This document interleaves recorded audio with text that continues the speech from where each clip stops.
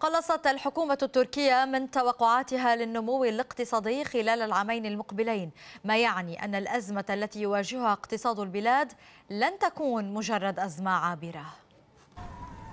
اعتراف ضمني بالأزمة. هذا ما تضمنته خطة الحكومة التركية الاقتصادية للسنوات الثلاث القادمة.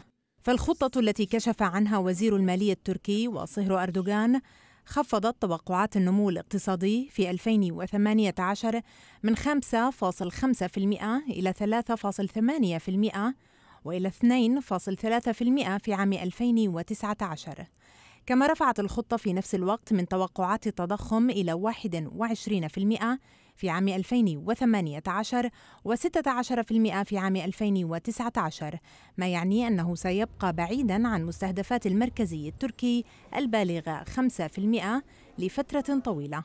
ما يطرح الكثير من إشارات الاستفهام حول السياسة النقدية في ظل تهاوي سعر الليرة. الأمر لم يقتصر على ذلك فقط فالخطة تضمنت أيضا خفضا للإنفاق الحكومي أدى إلى تعليق جميع مشاريع الاستثمار التي لم تتم عطاءاتها بشكل نهائي ومراجعة برامج التأمين الاجتماعي وبرنامج تنشيط الصادرات. إجراءات الحكومة تضاف إلى سلسلة خطوات سابقة من المركزي التركي لإنقاذ الاقتصاد كان أبرزها رفع معدلات الفائدة إلى 24% وخفض متطلبات الاحتياطي ورفع حدود سقف الإقراض ما يؤكد على أن أزمة الليرة ليست مجرد أزمة مصطنعة كما يدعي أردوغان. لكن في نهاية الأمر ستبقى النتائج على أرض الواقع هي ما يهم المستثمرين ولعل أبرزها التأكد من تخلي الحكومة عن استخدام القروض والائتمان في دعم النمو الاقتصادي.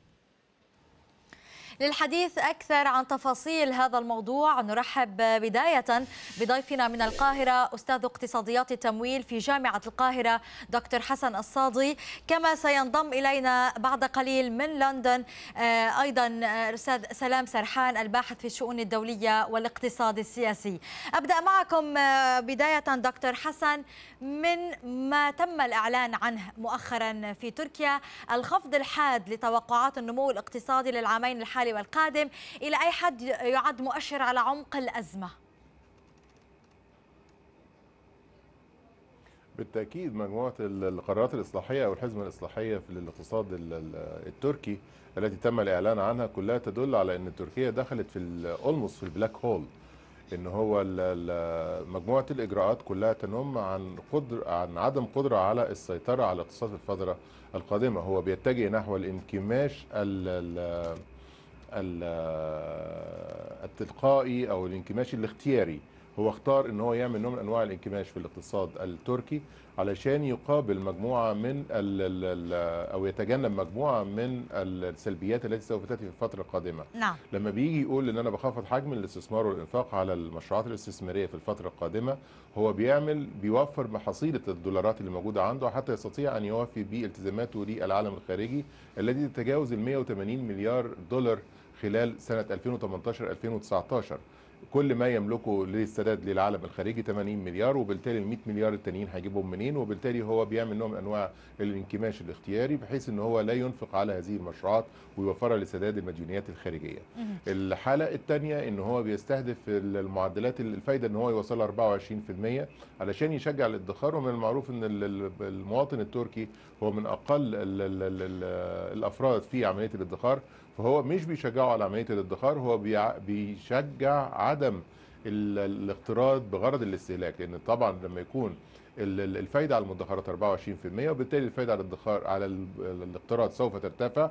لكن للأسف الفايدة على الاقتراض في اتجاهين الاتجاه اللي هو الكونسيومر لونز والكوربت لونز نعم. دكتور حسن سنتحدث لاحقا عن موضوع القروض والقطاع المصرفي ولكن ضمن إطار حديثنا عن الخطة الحكومية وعن خفض مستويات النمو أتحول لضيفنا من لندن أستاذ سلام سرحان الباحث بالشؤون الدولية والاقتصاد السياسي. أستاذ سلام بماذا ستفيد الخطة الحكومية الأخيرة. هل سيكون لها أثر أم أم هي مجرد جرعة مهدئة؟ آه كما قال الضيف من القاهرة الاقتصاد التركي في حفرة عميقة جدا. يعني لا يوجد أي إجراء يمكن أن يتخذ. ليست لديه ليست له تداعيات آه سلبية على الطرف الآخر. كما ذكر الضيف خفض الإنفاق ومستويات الفائدة المرتفعة ستقطع كل شرايين التمويل سواء الاستهلاكي أو المشاريع الصغيرة أو الكبيرة أو جميع الشركات لن ستجد صعوبة بالغة جدا في الاقتراض. في ظل مستويات الفائدة المرتفعة وترجيح الانكماش وارتفاع التضخم يمكن أن يسقط الاقتصاد التركي في حالة من الركود التضخمي يصعب الفكاك منها. لا المسألة أيضا أنه هناك فقدان ثقة شبه مطلق بين المستثمرين والأسواق وأسواق المال العالمية والمؤسسات المالية العالمية في مدى جدية المؤسسات التركية. هناك تبادل أدوار يعني مصطنع بين الرئيس التركي الذي يمسك بجميع الأوراق والكل يعرف أنه يعارض كل العلاجات الناجعة القاسية وبين صهره وزير المالية والخزانة براءة البيرق وبين البنك المركزي. ولكن كل القرارات هي كأنها لا تذهب في العلاج نعم إلى عندما نقول أن الحكومة الحاسم. خفضت توقعات التضخم آه، من 21% إلى 16% آه، للعام القادم لكنها هذه الأرقام تبقى فوق المستهدفات بثلاث مرات فوق مستهدفات البنك المركزي يعني إلى أي حد نرى أن هذا التضخم الذي آه، تسارع مؤخرا يكون هو المكان أو هو هذه الصخرة التي تتكسر عليها كل الخطط الحكومية وكل الإجراءات. آه، بالتأكيد يعني آه، أعتقد التضخم سيرتفع أكثر من ذلك بكثير يعني لا يمكن. نعم. نعم, نعم. من من من لمن السؤال؟ عفوا. كان لحضرتك أستاذ سلام ولكن لكل بكل الاحوال سنعود لاحقا لنتحدث أكثر عن هذا الموضوع إنما بعد هذا التقرير حيث سنستعرض الآن مع ضيوفنا ومعكم مشاهدينا تقرير حول تعرض الليرة التركية لحالة نزيف غير مسبوقة. هذه الحالة امتدت تداعياتها إلى معظم القطاعات الاقتصادية وأربكت خطط المستثمرين. لكن لماذا هذا النزيف وما التوقعات؟ الإجابة الآن مع الزميل نور الدين. لم يتطلب الأمر سوى تسعة أشهر حتى تتهاوى قيمة الليرة التركية أمام الدولار الأمريكي لتفقد ما يقارب من نصف قيمتها وتصبح ثانية أسوأ عملة من ناحية الأداء في العالم وذلك بعد البيزو الأرجنتيني فماذا حدث؟ لعل تدخل الرئيس رجب طيب أردوغان في مجريات المشهد الاقتصادي كان له الأثر الأكبر فأردوغان أشعل مخاوف المستثمرين مع إصراره على تبني نظريات مخالفة للقواعد العلمية الاقتصادية والمصرفية فهو معارض لرفع معدلات الفائدة بأي شكل لدرجة أنه وصفها بأب وأم كل الشرور. بالطبع أدت معارضة أردوغان لرفع معدلات الفائدة إلى تأخير البنك المركزي في اتخاذ قرارات السياسة النقدية وذلك في الوقت المناسب. لا سيما في ظل تحقيق نمو اقتصادي يتطلب في ذلك الوقت رفع معدلات الفائدة مما دفع إلى تداعي ثقة الأسواق في المركزي وسط تزايد الشكوك أيضا في مدى استقلاليته. مشكلة أخرى لا تقل أهمية عن سابقاتها بل وتتداخل معها أيضا. تتلخص في أن الجانب المظلم من وتيرة النمو السريعة للاقتصاد التركي في السنوات الأخيرة اعتمد على الديون الخارجية أكثر من غيرها ليصبح الاقتصاد أكثر هشاشة وعرضة لتقلبات سعر الصرف كما سنرى لاحقا. الشركات والبنوك التركية استفادت من حقبة معدلات الفائدة المتدنية في فترة ما بعد الأزمة المالية العالمية مما شجعها في ذلك الوقت على الاقتراض بكثافة بالعملة الصعبة كالدولار واليورو وغيرها من العملات من خارج الدولة. وهو ما أدى إلى تضخم الدين الخارجي التركي لأعلى مستوى له على الإطلاق ليسجل 467 مليار دولار في الربع الأول. ومع استحواذ أيضا القطاع الخاص على 70% من الديون الخارجية فإن انخفاض الليرة يعني زيادة عبء تسديد هذه الديون بالعملة الأجنبية ليؤدي بذلك إلى تعثر الشركات في سداد قروضها الأجنبية وربما أيضا السقوط في شبح الإفلاس. ويتحول الأمر من أزمة سعر للصرف إلى أزمة ديون. ويسقط الاقتصاد التركي في فخ ديونه الخارجية التي كانت يوما ما سببا أساسيا للقفزات الهائلة في معدلات النمو الاقتصادي. ويبقى التساؤل هنا هل تنزلق تركيا إلى ركود اقتصادي؟ انخفاض قيمة الليرة بالتزامن مع اعتماد كثيف على الواردات سواء للاستهلاك أو للاستخدام في التصنيع. قفزت بمعدلات التضخم إلى مستويات تاريخية لتسجل نحو 18% وفقا للأرقام الرسمية وهو أعلى مستوى منذ 15 عاما. الأمر الذي ضغط بالتأكيد على البنك المركزي التركي في النهاية لرفع حاد لمعدلات الفائدة ويدخل بذلك البنك المركزي في دوامة الموازنة بين السيطرة على التضخم ودعم القيمة أو قيمة الليرة التركية. لكن رفع الفائدة في المقابل من شأنه أن يؤدي إلى تباطؤ الأنشطة الاقتصادية بشكل عام وربما أيضا يسقط الاقتصاد التركي في براثن الركود التضخمي. وهي الحالة التي تضعف فيها وتيرة النمو الاقتصادي بالتزامن مع ارتفاع مستمر للأسعار وارتفاع في معدلات البطالة. وتصبح الرؤية المستقبلية أكثر قتامة للاقتصاد التركي الذي نما بواقع 7.4% خلال العام 2017 مما وضعه بين أسرع الاقتصادات نموا العام الماضي. فالبنك المركزي التركي نفسه يتوقع نموا ب 3.4% أي نصف ما كان عليه الاقتصاد في العام 2017 وكانت توقعات S&P أكثر سلبية أيضا حيث تتوقع سقوط تركيا في انكماش اقتصادي العام المقبل مع ارتفاع التضخم إلى 22%. نعود الآن إلى الحوار مع ضيفينا من القاهرة أستاذ اقتصاديات التمويل في جامعة القاهرة دكتور حسن الصادي أهلا بك معنا من جديد. ومن لندن سيد سلام سرحان الباحث في الشؤون الدولية والاقتصاد السياسي. أستاذ سلام نتحدث عن موضوع التضخم مستويات العالية ورغم خفض توقعات التضخم للعام القادم هي تبقى أعلى بثلاث مرات من المستهدف. إلى أي حد هذا سيفشل؟ أي خطة للحكومة؟ بصراحة التقرير الذي آه، آه، قدمتموه الآن يعني كان وافيا بشكل استثنائي لكل مشاكل الاقتصاد التركي.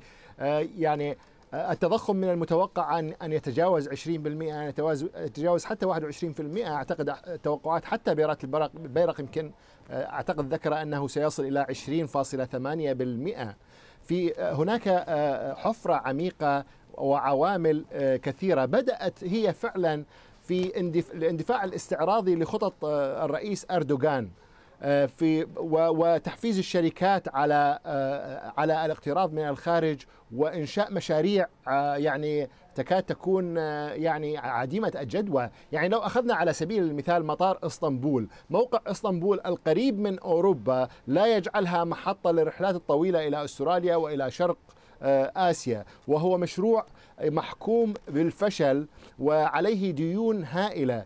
يعني باستثناء آه، الخطوط التركية لا أعتقد أن آه، أي آه، خطوط أخرى يمكن أن تستخدم هذا المطار وديونه ارتفعت تضاعفت أكثر من مرتين نعم. بسبب تراجع الليرة التركية. يعني هو اقترض تقريبا 6 مليارات دولار في عام 2015 الآن تعادل 40 مليار ليرة ومعظم عوائده من الرحلات الداخلية. قصدي يعني أنا فقط أنه أريد أن أشير إلى وجود مشاريع هائلة استعراضية بديون عالية. اقتصادية. نعم. اندفع بها بديون عالية جدا. الشركات الخاصة هناك تقديرات لوكالة موديز بأن الديون المستحقة على الشركات التركية يمكن أن تصل حتى يوليو المقبل إلى 230 مليار دولار. نعم. وهي عوائدها تأتي بالليرة والليرة منخفضة وهكذا آه، الاقتصاد التركي في حفرة عميقة جدا دعنا نتحول الآن إلى ضيفنا من القاهرة دكتور حسن الصادي آه، نعلم أنه إجراءات كثيرة اتخذها البنك المركزي أكثر من عشر إجراءات منذ أغسطس لكن حتى الآن الليرة تتهاوى وتلتهم معها مكاسب رفع الفائدة فإلى أين نتجه برأيكم؟ الاتجاه هيكون آه، أكثر سوءا من الوضع الحالي لأن في تضارب في القرارات ما بين أردوغان والبنك المركزي. أردوغان غير راضي بالكامل على قرارات وسياسات البنك المركزي وسياسات والبنك المركزي جهة مستقلة لا يجوز عزلها من قبل رئيس الدولة ولكن يتم عزلها من قبل البرلمان. وبالتالي ليه حصانة معينة وبالتالي البنك المركزي اتخذ مجموعة من الإجراءات وتترتب عليها رفع سعر الفايدة في الفترة السابقة وقد يرفع سعر الفايدة أكثر في الفترة اللاحقة. وهو ما يتعارض تماما مع سياسة أردوغان التي تهدف إلى السيطرة على أسعار الفايدة بما يساعد في عملية النمو الاقتصادي عن طريق الاقتراض الداخلي ولا يشجع على ال- الادخار وإنما يشجع على الاستهلاك حتى يدير عجلة الاقتصاد. هذا التضارب ما بين ال- السلطان العثماني والبنك المركزي بالتأكيد سوف يهوى بالاقتصاد التركي إلى آه، مستويات لم نعهدها من قبل. الآن الاقتصاد التركي مع مستويات التضخم التي توجد به إحنا دلوقتي في حتة بنسميها ال hyper inflation. إحنا مش في high inflation. ولما بتخش في ال hyper inflation علشان تخرجي منه لازم يحصل نوع من أنواع ال crash للاقتصاد. بتحاولي تسيطري على ال inflation ما بتقدريش نعم. تسيطري عليها. أدوات السيطرة عليها ال inflation هتؤدي إلى نوع من أنواع الركود. هذا الركود هيؤدي إلى انخفاض الإنتاج الناتج المحلي القابل للتصدير وبالتالي صادراتك هتقل وبالتالي وارداتك هتزيد وارداتك بتزيد على سعر صرف أعلى من سعر الصرف الذي قبل وبالتالي بيؤدي إلى ارتفاع مستويات الأسعار في الداخل في نفس الوقت المنتجات ال- ال- التي يتم إنتاجها في الاقتصاد التركي سوف يتم تصديرها على سعر صرف منخفض وبالتالي اللي بيحصل نعم. ال- ال- المنتجات داخل تركيا أسعارها بتزيد والمنتجات خارج تركيا المنتجات التركية خارج تركيا أسعارها بتقل فاللي بيحصل استنزاف كامل للاقتصاد التركي حتى يحصل نوع من أنواع ال ال ال الكراش. يحصل نوع من أنواع الانهيار الاقتصادي. الانهيار الاقتصادي دوت بيستتبعه انهيار سياسي في الدولة. بيحصل نوع من نوع من أنواع الريفورم للسياسة والاقتصاد في نفس الوقت علشان نقدر نخرج من أو تقدر تركيا تخرج من الآن الوضع نتحدث عن مخاطر كبيرة الذي- حتى على القطاع المصرفي كما تفضلتم. يعني وضع القطاع المصرفي الآن كيف نصنفه؟ بالتأكيد القطاع المصرفي سوف يدفع الثمن. لأن القطاع المصرفي هيحصل إيه؟ لما تيجي تقول لي إن أنت سعر الفايدة على الودائع 24 و25% نوبادي مفيش حد هيعمل نوع من أنواع الاستهلاك. كله هيروح لعملية الادخار مع القطاع المصرفي. طب والقطاع المصرفي هيعمل بالفلوس ديت إيه؟ أنت رافع سعر الفايدة بدرجة مرتفعة جدا على المقترضين. المقترض دوت يا إما شركة عايزة تقترض علشان تمول عمليات إنتاجية يا إما فرد عايز يقترض عشان يمول عمليات استهلاكية. في الحالتين لا الشركة هتقترض ولا الفرد هيقترض. طب الفلوس دي هتروح فين؟ الفلوس دي هتروح في اتجاه أذون الخزانة اللي هيتولى أردوغان بالتأكيد هيتوسع في إصدار أذون الخزانة حتى يستطيع إن هو يلم الدولار من السوق اللي يلبي بيه احتياجاته لسداد المديونات نعم. الخارجية اللي عليه التي تفاقمت بدرجة كبيرة. وبالتالي إيه اللي هيحصل؟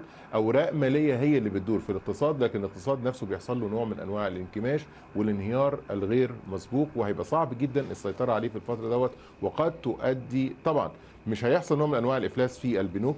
نعم. لأن البنوك في الحالة ديت هتبقى أثرى أو أكثر الجهات ثراء في الاقتصاد التركي لأن هي بتتعامل على أوراق مضمونة تماما من قبل ال- ال- ال- السلطان العثماني أردوغان ماذا عن تفاقم العجز في الميزانية إلى حوالي 11 مليار دولار في ثمانية أشهر وخطورة هذه المسألة؟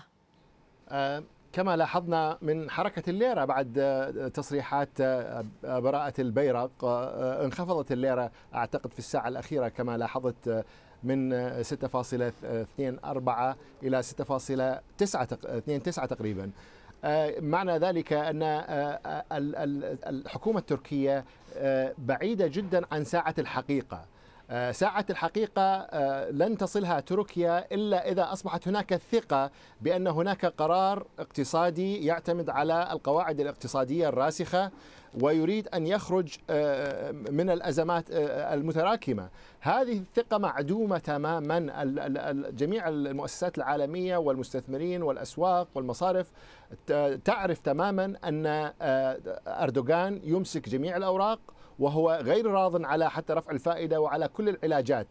آه، عندما لا تكون هناك ثقة بأن العلاجات أخذت لمعالجة ال- الأمر فبالتأكيد ستستمر الأزمة. هناك فقاعات كثيرة ستنفجر. كما قال الضيف آه، من القاهرة آه، لا, لا يمكن أن تنتهي الأزمة إلا بتغيير سياسي آه، تام. أعتقد ستنفجر فقاعات كثيرة. وكما هو ذكر أن المصارف ستكون الأثرى بسبب الادخار لكن المصارف أيضا مكشوفة على عدد هائل من الشركات التي نعم. ستؤدي الأزمة إلى إفلاسها. يعني فقط في الشهر يوليو هناك أكثر من 10000 شركة تركية صغيرة وكبيرة وأفراد وحتى حرفيين أعلنوا إفلاسهم نعم. في تركيا. لذلك الأمر ستنفجر فقاعة أردوغان في النهاية.